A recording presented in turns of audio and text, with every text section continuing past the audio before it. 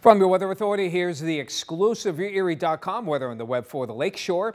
And we're looking at brisk winds for today. Some snow showers will continue, another inch or two uh, as we uh, go through the afternoon. Temperatures holding in the lower, perhaps mid 20s. For tonight, chance of light snow, not much accumulation, and cold. Lows dropping into the single digits to about 10 above. And from your Weather Authority, leftover flurries tomorrow morning, then some sunshine breaks out. Still pretty cold, but we do expect moderating temperatures as we head towards Sunday, and we'll keep it dry as well.